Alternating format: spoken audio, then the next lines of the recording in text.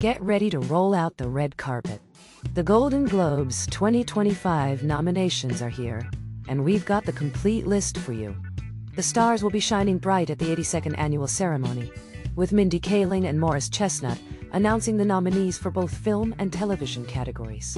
This year, the Golden Globes will be hosted by the hilarious Nikki Glaser, who promises an exciting yet challenging night in front of Hollywood's biggest stars.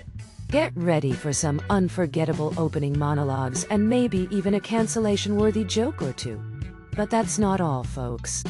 We've seen some major changes in the Golden Globes in recent years, from a boycott in 2022 to the dissolution of the HFPA in 2024. Now, Dick Clark Productions has taken over, and the awards show is back on track.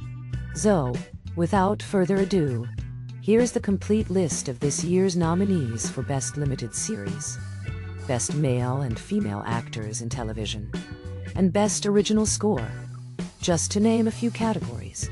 Make sure to mark your calendars for January 5th at 8 p.m.